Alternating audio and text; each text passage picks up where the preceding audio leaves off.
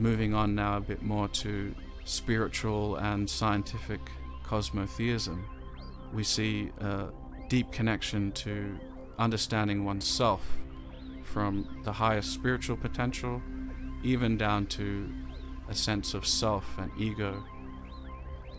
So, mandala science is very uh, connected to evolving, it's like a mind map to the inner world. It's uh, a mind map linking the very core of ideas and conceptions to bring a sense of unity to the self. Very beautiful concept uh, to bring about such peace, beauty, harmony, and all these positive principles. Looking into such, even though approaching and, and diving deep into very seeming complex subjects, the lotus can somehow bring about not only a sense of unity in the core of one's being, but also a sense of unity with the reality of the universe, with the reality of the cosmos. Just as there's an outer blossoming of cosmic energy into the current forms of the universe that we can observe through space, also a blossoming of one's life as one evolves through life from young age to old age. And we can see that this blossoming is happening in modern times with just the sheer art uh, related to the lotus. This whole presentation based around sharing this lotus, and we can see the, the art moving into deep levels of fractal nature. We're realizing that nature itself is deeply fractal, it's a self replicating system. Depths of reality there are these spiritual energies, and that when they are coming in touch with this material world, they materialize and they take a similar shape to their original spiritual forms. So we see this concept, which we'll be talking about, this, this blossoming of spiritual energy, then the materialization of this energy. We even see this in the mathematics so whole new areas of fractal mathematics which correlate to nature. In, in fact, even touching on deep mysteries in mathematics, such as the zeta function of the primes. We'll see this blossoming and flowering coming from this kind of almost inconceivable geometry. The deep connection, these mysteries, when they start to take shape, the blossoming of the prime starts to look like the very essence and, and shape of the lotus. And we'll see a lot of this beginning to happen, where a lot of these high energy physics and cosmology start to take on very lotus shapes, fractals moving from core structures to more complex and very interesting fractal structures. We also see this in the torus and in the vortex and the mathematics that arises from studying the vortex, which is a very important aspect of modern mathematics, physics, and also cosmology. We also find a deep connection to this form in the electromagnetic spectrum and in electromagnetic energies because this form takes shape around the magnetic fields.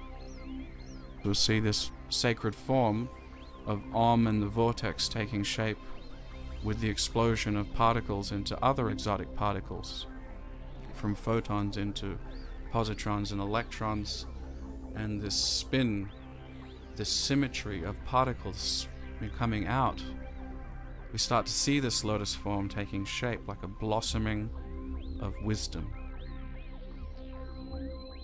These sacred forms, they offer such a deep potential to evolving ourselves mathematically, scientifically, personally, on all levels, and we'll get to that soon, some more of that. The cosmos is the very source of our understanding of reality in the outside world and how we've come to be. This cosmic journey will uh, take us to places which reveal the very secret of the lotus flower. This is the best time to realize the very sacred and powerful potential of the sacred lotus.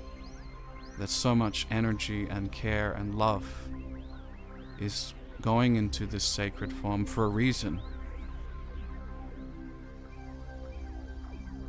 All of these beautiful artworks and scientific things, they're getting us ready for a new age of thinking, a new way of doing mathematics, a new way of doing science, a new way of thinking that brings together everything. So let's get ready for diving deep into the potential of the lotus and how this brings cosmology, science, and the future of science, in fact, to the center point.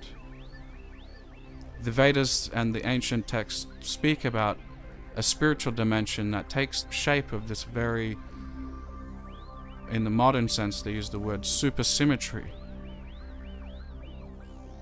In the higher cosmic energies, there's this very blossoming form which gives rise to various spiritual dimensions that are nearabouts invisible because we're held in a space separated from that, but in fact, the very black body of space and time is reflecting and evolving that form as a reflection. So the spiritual world is like the real thing, and the material world and the materialization of energy is like the reflection. And so that's why there's a similarity in this world. We can see that through looking at the multiverse model, how there is a original spiritual dimensions and how they give rise to the dimension of matter that we live in now. The Vedas and the ancient teachings point to a spiritual world that takes on the form of this sacred thousand petaled lotus, meaning a kind of 10 to infinity. Many modern mathematical theories, like uh, in geometry and what they call the mathematical monsters, can kind of touch on these spiritual concepts of one without a second. We even see this in the lotus, where it takes the twin lotus form from one, two things manifesting, and so the god and goddess being the two forms of the same reality. We find the spin of matter and energy, in fact, spinning to that very left side in the same way that the goddess Radha is on the left side, and that our universe that we live in is spinning. The models also are very important to bring about an understanding of higher spiritual energies and the materialization of those energies through the black body of Mahavishnu. That original form, when it's reflected in the causal ocean or the black body, is very important because it allows us to conceive of a source to all shape and form, not that its origin came from nowhere, that it actually has every form and shape, that the materialization of form happens through a gradual or cyclic manner. So the original spiritual lotus dimension or super symmetry of the universe is hidden in a non material transcendent reality and it rises up through energy and as energy condenses into its external form or the material energy, it also takes on this symmetry. And you see that symmetry on the large structures and even on the small structures. And this unity of the large and the small through supersymmetry, string models, M theory, they're, they're kind of a blossoming of understanding of these cosmic higher energies and how they even give rise to the symmetries of biology from the simple and to the more complex. And these Vedic models are very important to understanding dimensionality, higher dimensions, marginal dimensions, external dimensions, uh, and all kinds of dimensions which are seen through the lotus. So the lotus exists in its root forms, in its stem forms, in its flower forms, and in various other ways.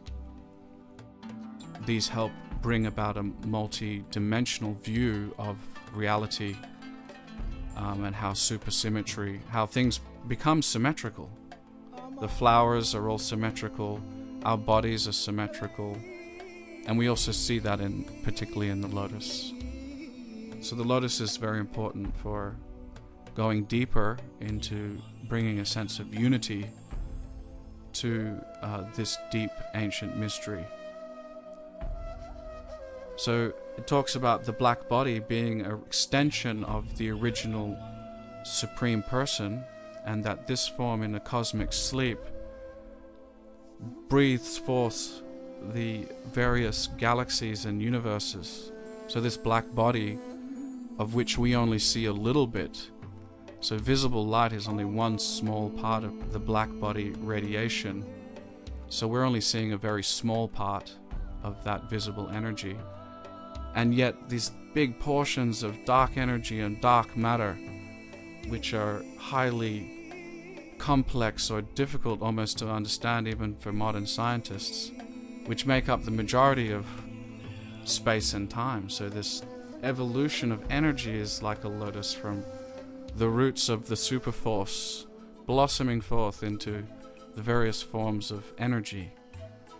And we see this blossoming in a sense of like the origin and the reflection. So, the materialized reflection of the lotus is this material world, whereas the original is related to the superforce and a sense of space and time, like the petals of a lotus. So Einstein and great scientific thinkers, they have also somehow come in contact with this lotus geometry.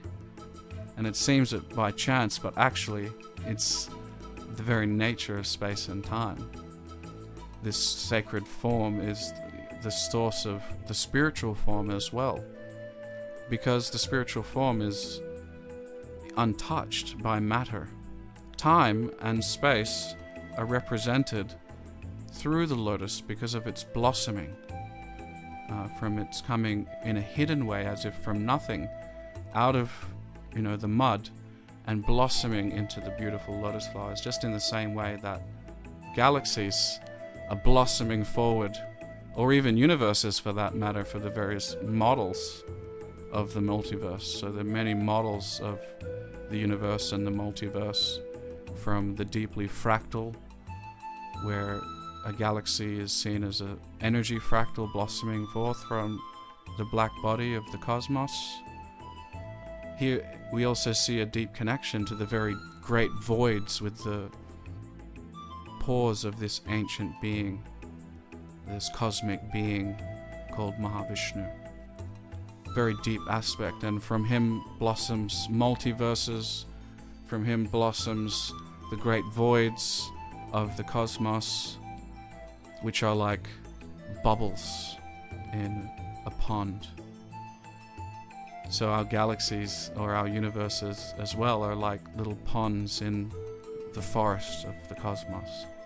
So we're going to be talking about the forest a lot because being in touch with nature is something very important. The ancient rishis, they saw the connection between nature and the universe and this deep connection that the universe is blossoming in the same way that the forests around us and the forests that humanity has evolved out of have also blossomed.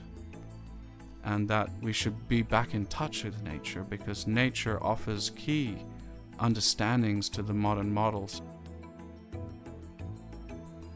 So, is it the universe mimicking nature? Is the forest somehow churned out from the structure, the hidden structures of the universe?